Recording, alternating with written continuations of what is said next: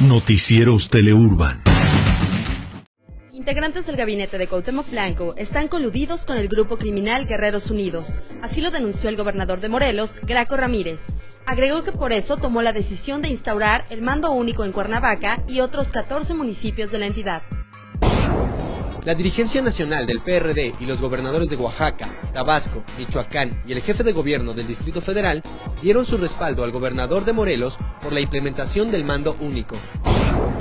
El viernes 8 de enero inician las prescripciones en línea preescolar, primaria y secundaria en la Ciudad de México. Esto lo informó la Administración Federal de Servicios Educativos en el Distrito Federal. En México, 72 de cada 100 hogares recibirán a los Reyes Magos, de acuerdo con la economía familiar, 57.2% de los niños obtendrán solo una parte de los regalos solicitados a Melchor, Gaspar y Baltasar, mientras que el 38.1% le llegarán todos los obsequios. Para facilitar la movilidad de los Reyes Magos por la Ciudad de México, el Metrobús amplió los horarios de servicio hasta las primeras horas del 6 de enero en sus cinco líneas. El sistema de transporte colectivo Metro informó que este martes y el miércoles 6 de enero tendrá horario normal.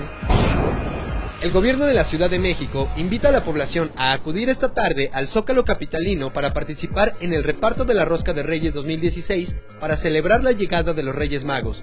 La rosca fue elaborada por artesanos de la Cámara de la Industria Panificadora y medirá más de 1.400 metros. Internacionales.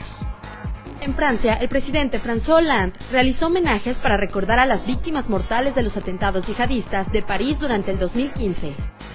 Espectáculos.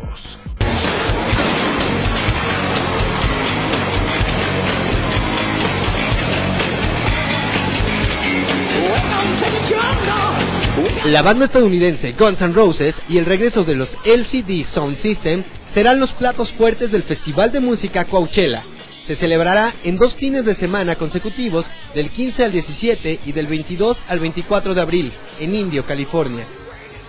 Para más información ingresa a www.teleurban.tv.